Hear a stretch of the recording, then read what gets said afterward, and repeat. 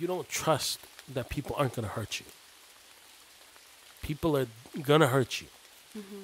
You just have to trust that you are strong enough to get out of it at the end of it. Yeah. And I think that's where I'm at is I trust myself that no matter what happens, I can get my my own shit out. I can deal with my own shit. People's shit I'm not going to be able to control. The, the the people that come to me and ask me for help or ask me for financial help, even a homeless person that comes and asks me for help, I cannot control what happens afterwards. Mm-hmm. But I can control the fact that if I'm giving it to someone, it means that I'm okay currently.